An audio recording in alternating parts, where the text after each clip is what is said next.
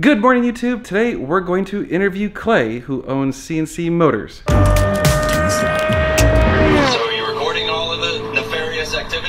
If you're new to the channel, my name is Dan, this is my garage, and this channel is all about the supercar ownership experience. And normally we are talking about buying and selling supercars and other things that are related to the supercar ownership experience. And it, by the way, if you happen to need anything for your supercar, go visit my website, normalguysupercar.com, and there you can buy my consultation services and other products that I sell for these supercars. But unfortunately, there's been a lot of bad stuff going on in the supercar world, and it all revolves around CNC Motors. You've heard Shane's story, I've published that. He's given a follow-up, and it's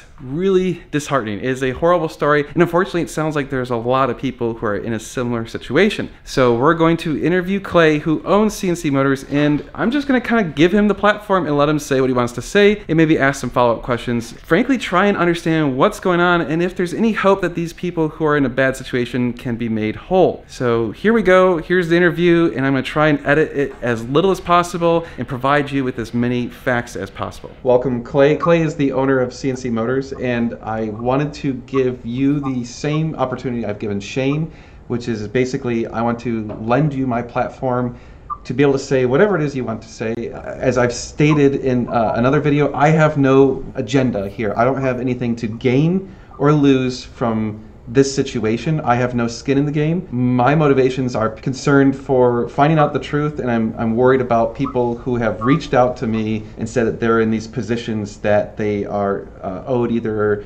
money or a car or something like that. Hi, my name is Clayton, and I'm with CNC Motors. We've been in business for roughly 15 years. Um, we've been a family business this whole time. We started out with a little small warehouse that you know could probably hold uh, three to five cars and we, over the years we've grown it and i think this is this is our fourth location probably bigger than we ever wanted to go but we're here now so we're we're dealing with it The first kind of thing is what what historically kind of led to this unfortunate situation because I, I feel like in every story it's always a confluence of events, right? It's never just one thing. So what kind of what transpired um, that that kind of happened? Not exactly sure. It's it's it could be a combination of we've been in this location since right around august of 2018 was it a case of too big too fast you know, we went from a smaller location where we were selling 30 cars a month, 35 cars a month, and it was easier then. Everybody was happier. We didn't have to work as hard. It was more about the cars and the people. When you come over here and now you're expected to sell anywhere from 80 to 100 cars a month, it's it's a lot more to do. It's a lot more to manage. It's a lot more drama. You need the right accounting people. You need the right people managing your credit lines. We went from having a six million dollar credit line to having a thirty million dollar credit line. More people to manage all of that. And then when March came around, it's it's kind of like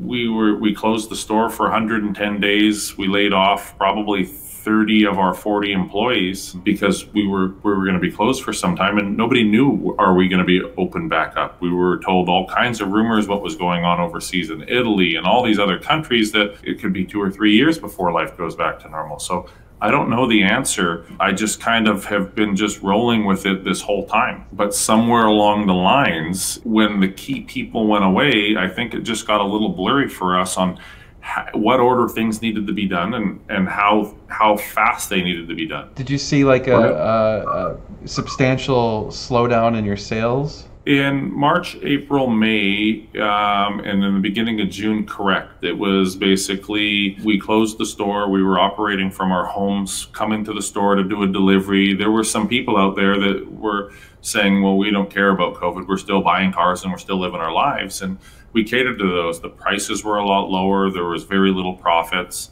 but we were we we had to go forward. I think it was June it started to pick back up, and we were doing great sales again. We were still understaffed. We still didn't have the right amount of people, but we continued to push through. We started experiencing a little bit of uh, slowdown right around Thanksgiving when they tried to do the second stay-at-home order. They wanted everybody to just stop they were they were talking about you know another big round of this coming out and closures and all that and that's covid isn't my excuse. Covid didn't cause my problems. My problems were not being prepared for something like that or not being able to maneuver around an obstacle. And at the end of the day it's it's trial and error. Like if i could go back to march again and do it again i wouldn't be in this position but I did the best I could during that time. Like I said, if I had a second opportunity to do it again, I, I don't think I would be anywhere near in this position. If we've made some wrongs, we'll right them. And at the end of the day, everything in, in in our world will go forward and we will make sure everybody on both ends of the stick, whether you're owed the title or a car or money, all the rights will be wronged and there won't be anybody standing there saying what happened. As tough as it is to get through a hard time, it's even harder to do it when you have the amount of people that don't know us at all that are 100% out there for hate. You know what I mean? They're, they're only here to see the crash. They're not here to see anything other than a, a negative and then they move right on to the next to the next guy who's who's in the limelight. When march came around nobody knew what was going to happen. We had customers calling us. We spoke with our legal counsel and we spoke with people and they said well you know what man? This could go on for three four years. This could go on for 12 months. Why don't you just pull out now zero exposure and sit back? And i said well because we're we're in this deep enough. You know we have our credit line we have our customers we have our employees we're gonna we're gonna see this thing through, and me and my wife and my family will, will see it through. There's there's nothing that we won't do to to get through this. I try to refrain once in a while from looking at the comments that people send via text message to me. I just I try not to read them. I, I, I am not a I'm not a, one of those guys who likes to be in the limelight. You, you probably haven't seen me on a TV show or a, on an interview at Mecum or any of that stuff. I just I don't want to be that guy. The comments that people are making out there are just they're, they're not accurate. And I was told to, to, to not engage with them, to not fight that fight. Like there's people out there saying, "Oh, you have a, a half million or a million dollar Rolex collection." I don't own a watch. I literally don't own a watch. I don't have a vacation house. I don't even actually own a house. I, I'm a renter now. It's just okay with me and my family. We're happy wherever we're at together. We don't have a beach house. We don't have a lake house. We don't have a plane. I don't have a drug problem. I don't even drink. Never mind do drugs. Like you have a guy out there that's saying that you should drug test me before this interview. So like I don't have much money right now. But if you want to put that guy on a three way interview right now and ask him how much he's willing to put up there, I'll take a drug test if he's willing to put some money up against it. I don't have these problems because I spent somebody's money taking care of myself or on myself or my family or on a vice. This is this is because of business decisions that I've made because of a crisis in the world all my fault. I'm not asked. I'm not. I'm the last guy who says COVID nineteen. COVID nineteen. That's COVID nineteen is an obstacle. How I maneuver around it and get through it is up to me and my business. I've learned a lot, and I've I've got some things coming down the pipe that are gonna that's gonna change everything for me. And I, I hope that by the end of next week I can tell you about them. And and I can bring on some of my people that were as angry as Shane was at me. Like literally, I was so disappointed that I caused so much pain in his life. The simple fact that I could hurt somebody like that bothered me. Uh, the only thing I, I, I got going, the only goal I have is to make sure that at the end of the day, not only does he get what he has coming to him, but his opinion of me changes and that's why it was it was so nice that he took the time to drive out here. I told my wife, I said I didn't know if he was going to punch me in the face when he saw me, but he he he said I'm going to just shelve it and I'm going to listen, and and and he was a gentleman about that, and he's not happy with me still. Sure, but at least he's he's listening to my side of the story, and I, I think that he knows that that I will right that wrong, and I, I honestly think sometimes that things happen for a reason, and I'll end up being lifelong friends. He sat down with my wife for a little while, and it, it just makes our drive to do the right thing that much better because you see that these are the these are the people that we want to be involved in. These are these are actual human beings that worked hard for their money. We, we've got to make our rights our wrongs right. I've made lots of wrong decisions. I've made a lot of right ones too. And when I make a wrong one, I always go back and fix it.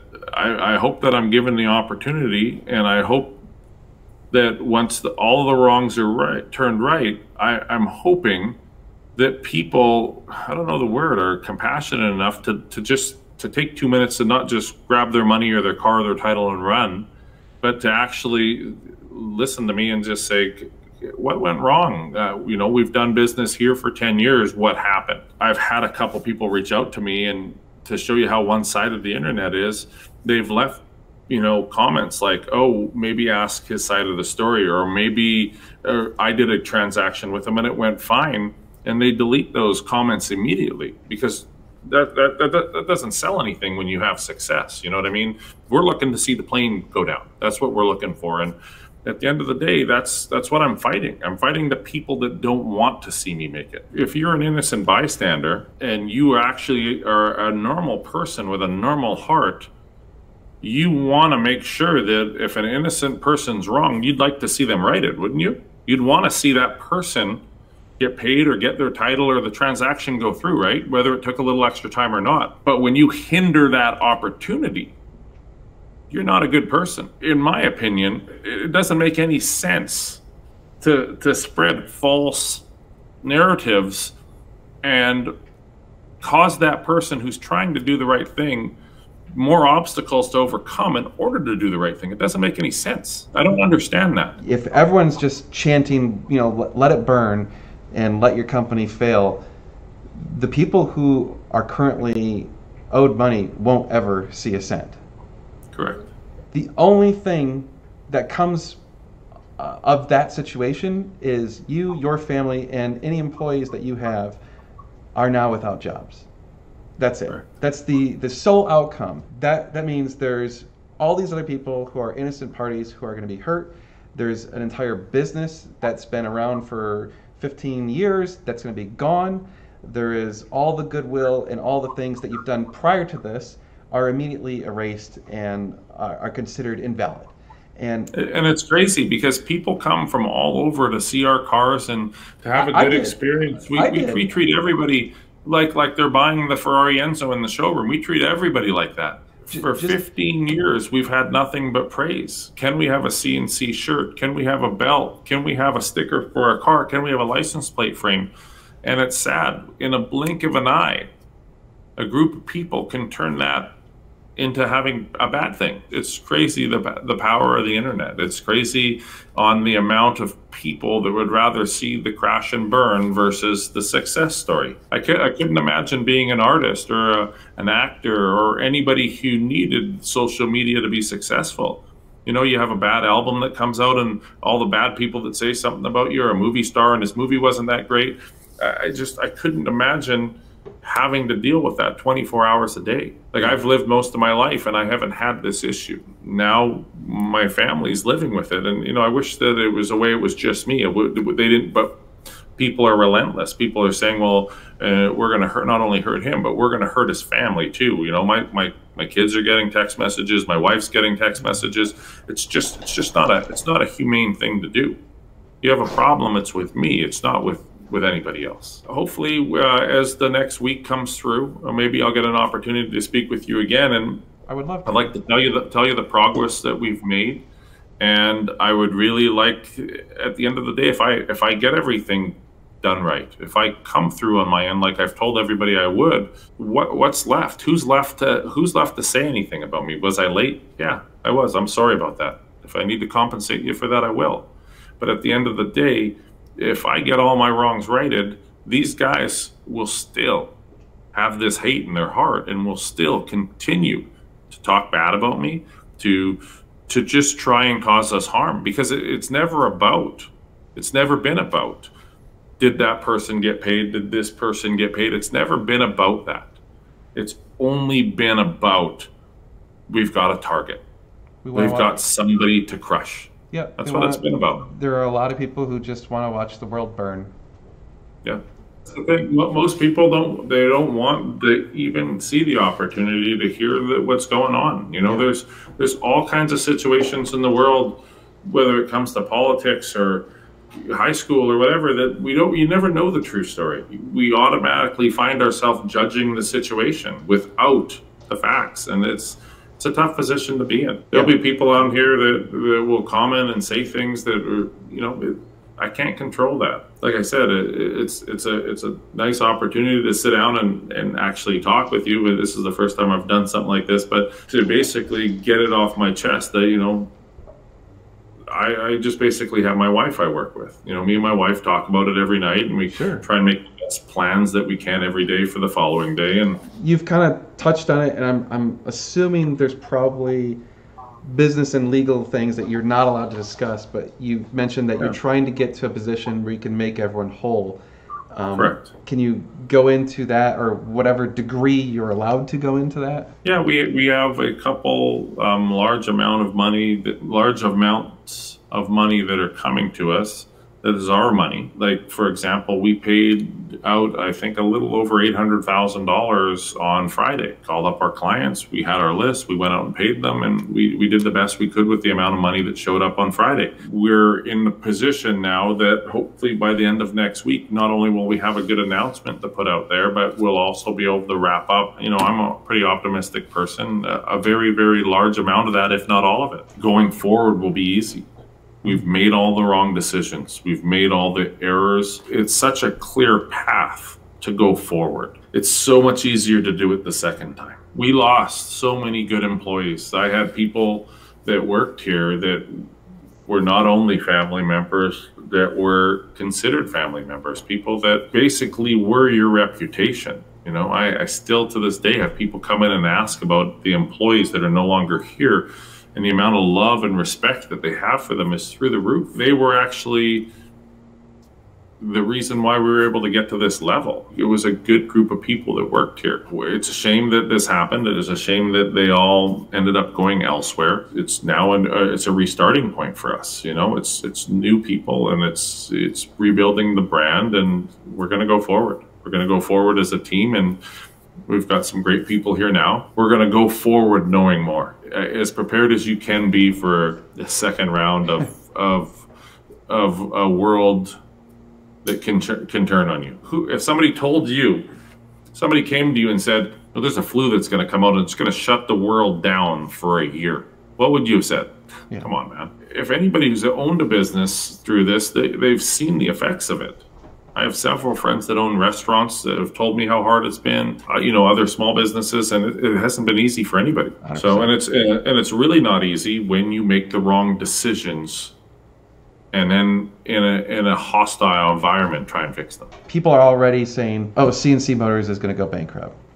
We, we, we haven't even consulted with a bankruptcy attorney. Uh, another big thing that's going around is there's another video that another YouTuber filmed where basically they came up to your place and said, "Hey, look, there's no cars here. There's no way. Like they're already shut down." There, there's all there's all kinds of those false things that somebody hired a lady, a picket lady, to go stand on the corner so they could take a picture of her, and then she was gone. There's a guy that um, he went out and he did that whole like Tim Tebow thing, I think they call Oh, it. yeah. Um, where he, he it was like CNC was dead and he was the you know the YouTubers are going crazy. We don't have any cars in our parking lot when we're closed. We pull everything inside. You know, we, we put two blockers up and away we go. It's do we have a lot less cars? Yeah. We had a we had a upper twenty million dollar credit line. We we had a lot of cars. Like if you go to our website and you look at the opening video of our store and see the amount of units that we used to carry, it was through the roof. And ever since these guys, you know, decided they wanted to try and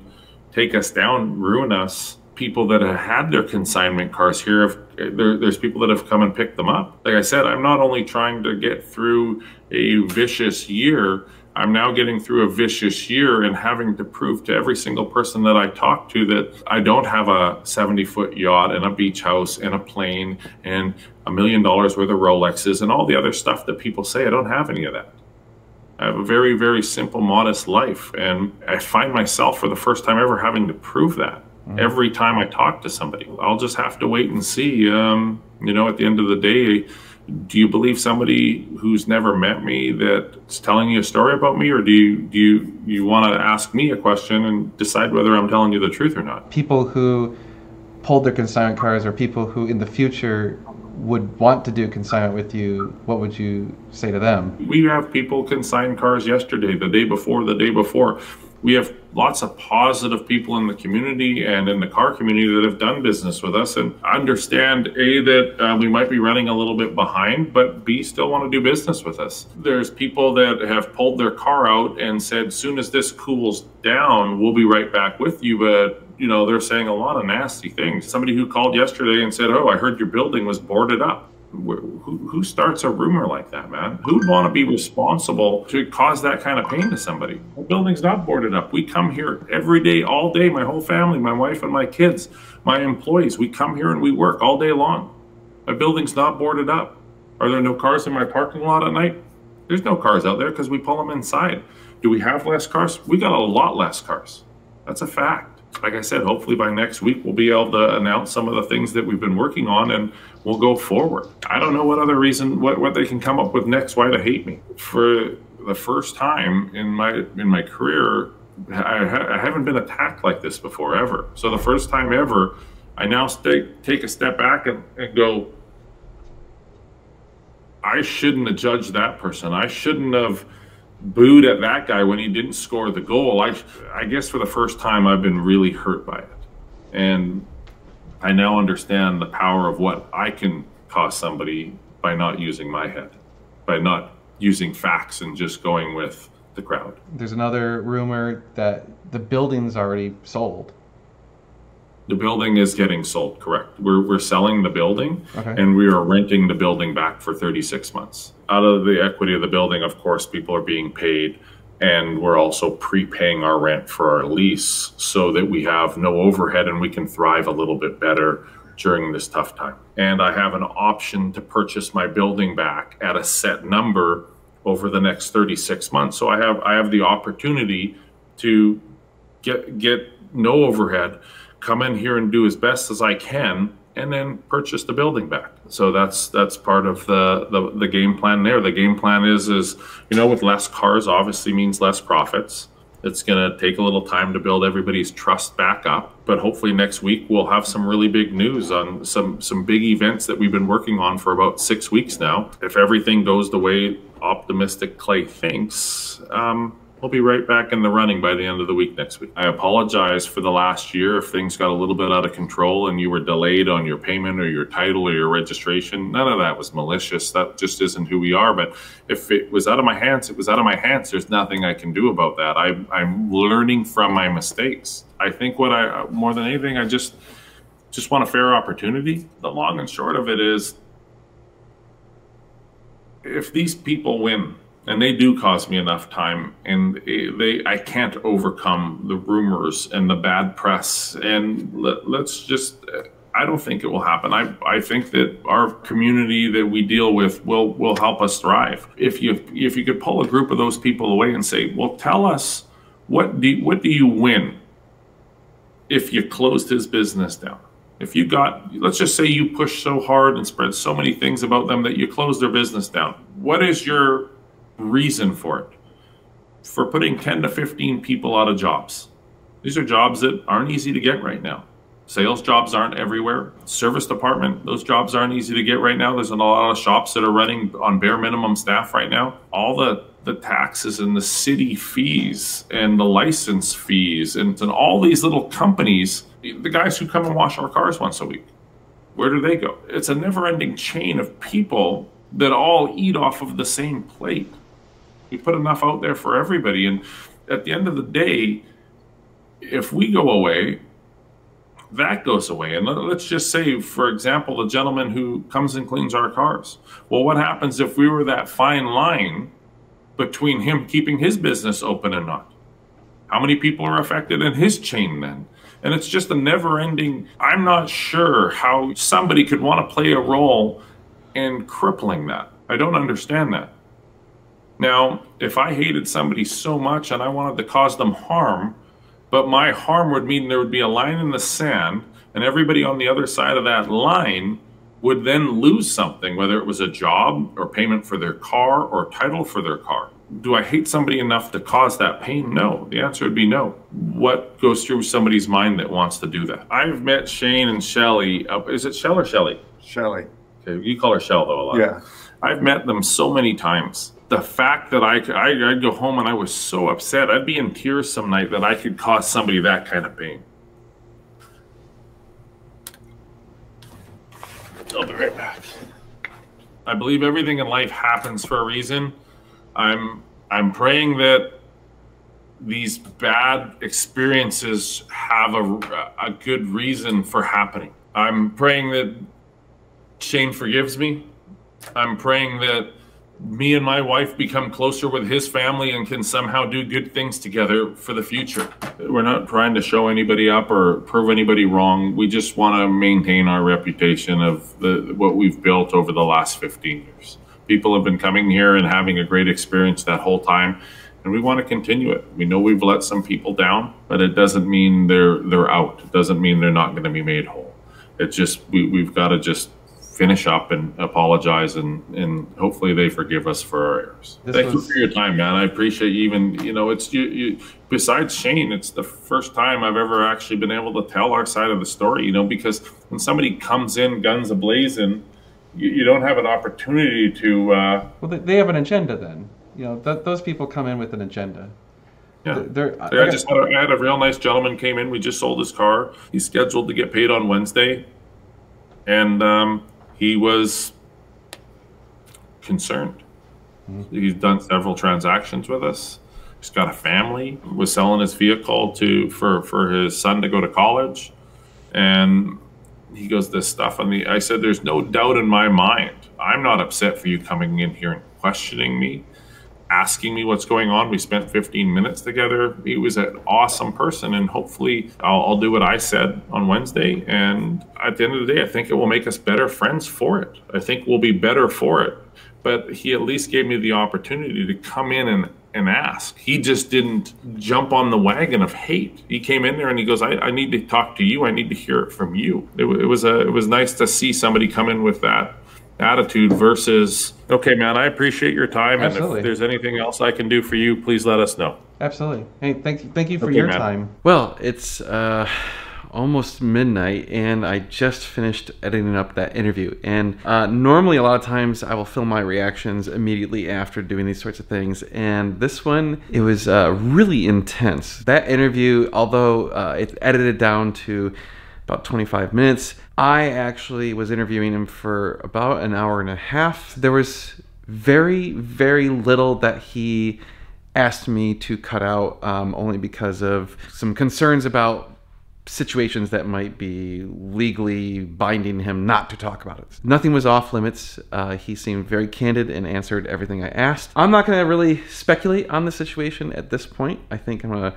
reserve my judgment for uh, another video. I think we will clearly have to have some follow-ups. I am hoping uh, that Shane is made whole sometime this week. So obviously, if any of those sorts of things happen, I will let you know. And honestly, any of you who are in Shane's situation, if you're one of the people who have not been uh, made whole, let me know if you do get made whole or if you haven't been made whole. And if you haven't, then let's try and make that happen somehow because I would love to see everyone come out okay. Ultimately, that would be my goal is to make sure everyone is okay.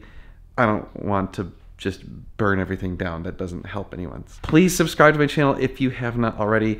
Uh, that does help me out and give me the thumbs up. Uh, those things do promote my videos in YouTube's algorithm, and I appreciate when you guys do that. So thank you again.